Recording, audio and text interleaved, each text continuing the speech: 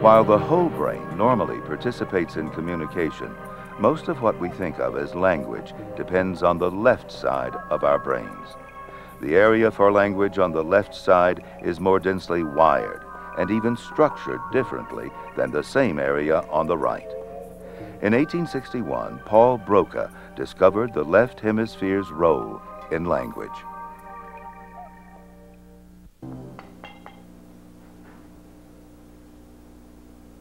This brain changed the course of neuroscience. It belonged to a stroke patient nicknamed Ta. He was given that name because Ta was all he could say. After Ta died, Paul Broca examined his brain. Because Ta could not speak, Broca concluded the damaged part of the left hemisphere was responsible for language. It's now called Broca's area. Ta's brain was recently rediscovered in a Paris museum. Scientists x-rayed it with a CAT scan. The black area in the left hemisphere is where the damage occurred.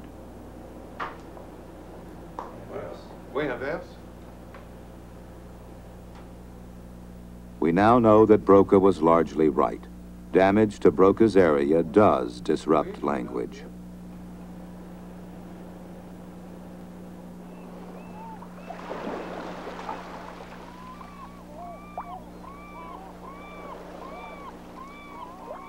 Until his stroke, Charles Landry had a thriving legal practice.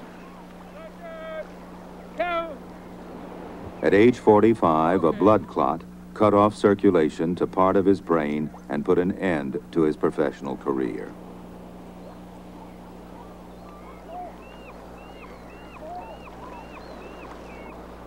At the heart of practicing law is a facility for language. Landry's stroke affected both his ability to understand language and his ability to express himself. Contingent remainder is uh, sell it, sign it, deliver it, or anything uh, subject to the contingency.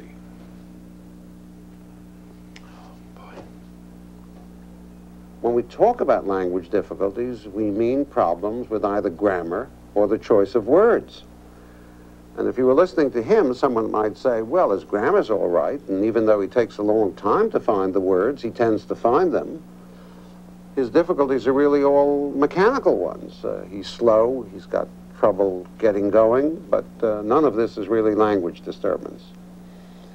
Well, I think that problem gets resolved very quickly when we start to examine his, his understanding of language. Do you ever have any trouble with what I say? No. Understanding it? No. Uh, well, suppose you wanted to communicate with a person Yeah. who was in a distant city. What apparatus would you utilize? Telephone. Very good. All right. And I deliberately made that uh, sort of a curious sentence just to show how well you did.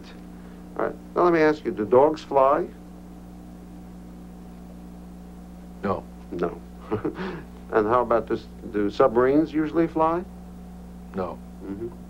How about a zeppelin? Can a zeppelin fly? Yes. Oh, okay. I couldn't make the question complicated enough in terms of the uh, fanciness of the vocabulary to throw him off. Uh, he immediately understood. And yet, when I produced a sentence that most of us would have thought was about as easy an English phrase as you could uh, create, uh, he failed totally. Do you know what a leopard is? Yeah. You know what a lion is? Yes. The leopard was killed by the lion. Which animal died? I don't know. That's hard, is it? no, no, no. Uh, I don't know.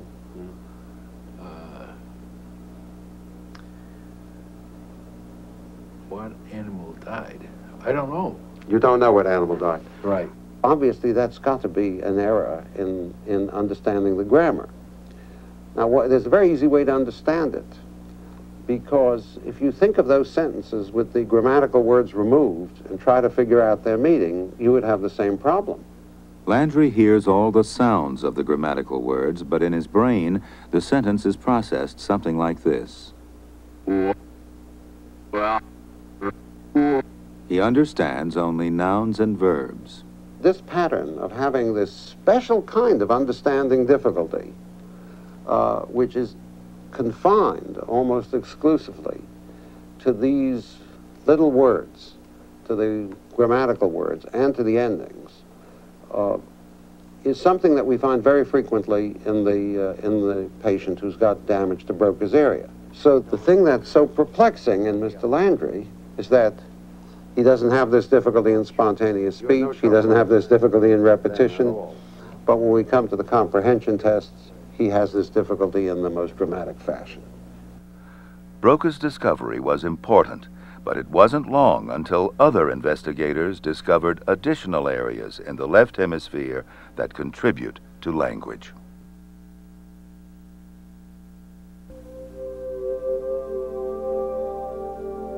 In 1874, the German scientist Karl Wernicke identified a third language area in the left hemisphere.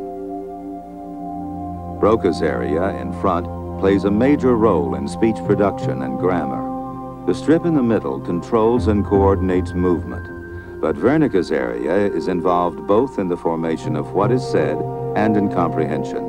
When it's damaged, speech seems fluent but doesn't make sense. We now know how we process and repeat words.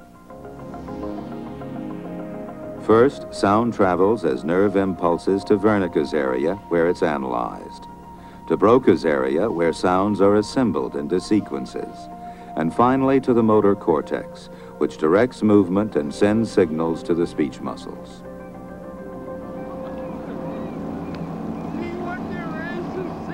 Charles Landry's brain damage has produced difficulties that are fairly typical of patients with damage to Broca's area.